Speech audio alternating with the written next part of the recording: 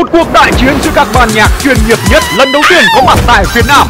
Ban nhạc Việt sụp đổ, thăng hoa, đầy cảm xúc với sự góp mặt của những nhà sản xuất âm nhạc hàng đầu Phương Huyền, Đức Trí, Nguyễn Hải Phong và Diva Mỹ Linh cùng MC Tiêu Hải Hước Xuân Bắc. Ban nhạc Việt được phát sóng lúc 21 giờ 15 chủ nhật hàng tuần bắt đầu từ ngày 19 tháng 11 trên VTV3. Bia Sài Gòn hân hạnh đồng hành cùng chương trình.